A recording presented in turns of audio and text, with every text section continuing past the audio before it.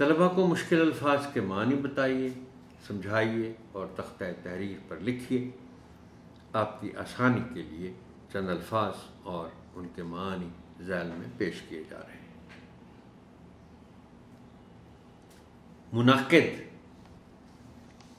हो जाना। मोहतरम टीचर, मैंने आपसे पहले भी एक एक से ज़ायद मरतबा गुजारिश की है कि जब आप अल्फाज के मानी बच्चों को बताएँ तो उस लफ्ज़ की अगर दीगर कुछ शक्लें हैं तो उनका तस्करा कम अज़ कम ज़रूर कर दें अब जैसे ये लफ्ज़ है मुनाकिद तो अगर मुनाकिद बता रहे हैं तो फिर साथ इन एकांत का भी ज़िक्र कर दें तो क्या हर होगा? मुनाकिद, हो जाना। इन एकांत हो जाना।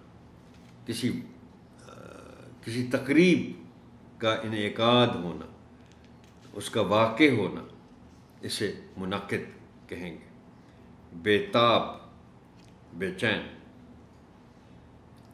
अब देखें ना जैसे मैंने आपसे गुजारिश की कि आप एक लफ्ज़ बेताब उनको बता रहे हैं तो दो चार सेकंड ही लगेंगे उनको आप सिर्फ़ ये भी बता दें कि इससे फिर बेताबी बनता है। शरीक होना, हिस्सा लेना, लहजा बोलने का तरीका।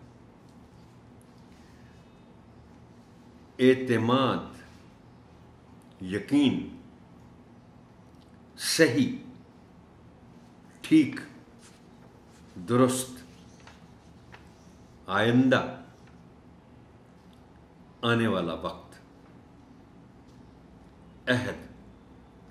वादा।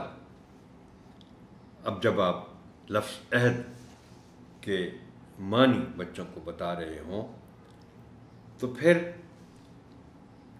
कुछ फ़र्क भी बता दीजिए अहद और वादा में। ठीक है, हमने लफ्ज़ अहद के मानी उनको बताए कि इसके मानी वादा हैं, लेकिन आप थोड़ा सा वजाहत ये भी कर दें कि वादा तो वो होता है जो हम किसी दूसरे शख्स के साथ करते हैं। लेकिन अहद वो वादा है जो हम अपने आप के साथ करते हैं। ये है दोनों में फ़र्क।